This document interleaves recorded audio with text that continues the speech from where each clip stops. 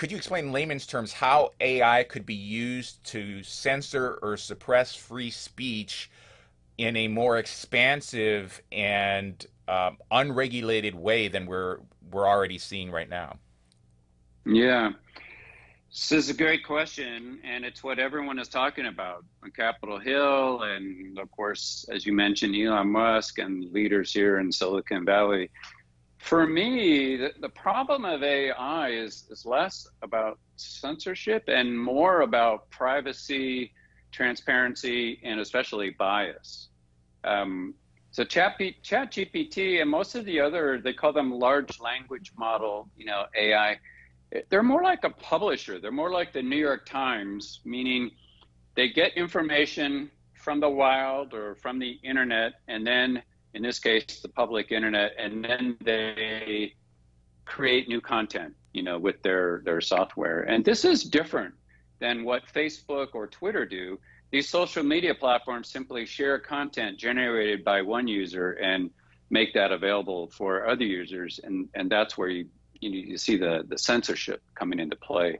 So AI engines need to scrape is the verb they use, which is to gather online information in order to to train their AI data engines, which means to teach the AI software how to answer questions based on content out there on the internet. So they literally go out and scrape and read data every single day from all sorts of sites and especially from social media sites like Twitter, where all of our posts are, are public. You know, as Facebook's a little different. They tend to be more restricted to your, you know, your so-called online uh, friends.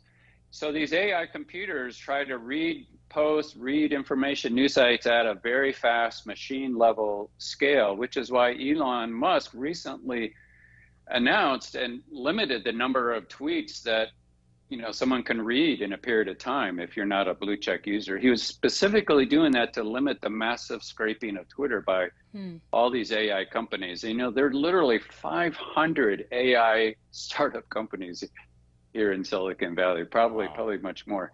So privacy is an issue. When ai scrapes mine and your personal posts and tweets they're invading your privacy without your permission. This is a very big part of what the europe eu laws are doing are dealing with when they regulate AI.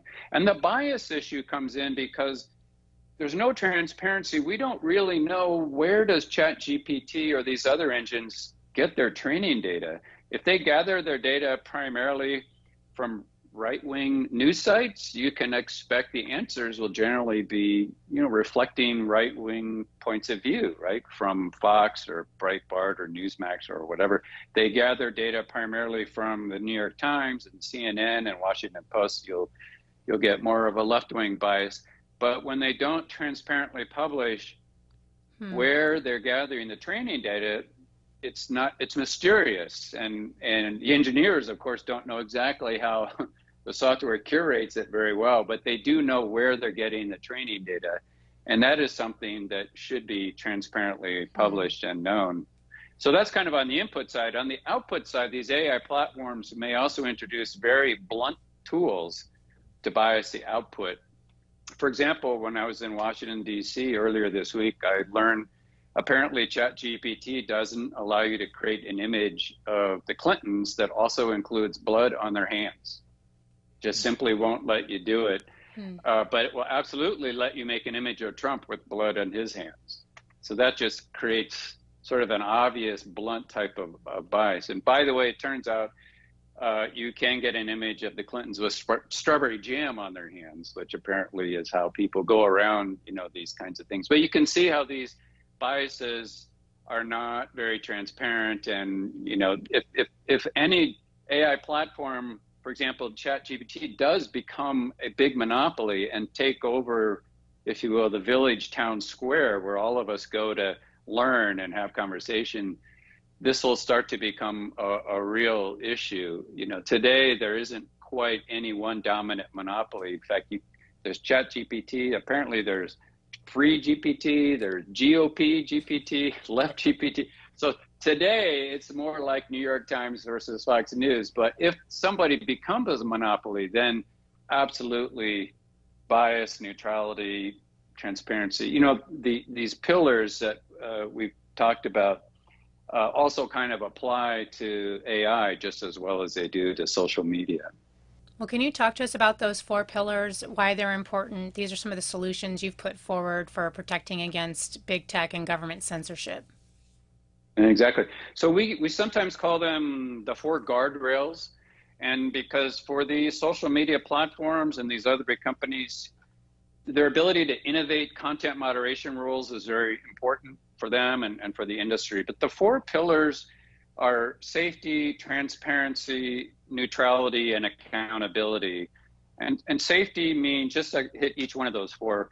Safety means that not all content should be published. There is some content that is truly harmful, and we can all think of examples exhorting people to use violence, child pornography, spam, computer viruses, doxing people by sharing their real home address, stuff like that.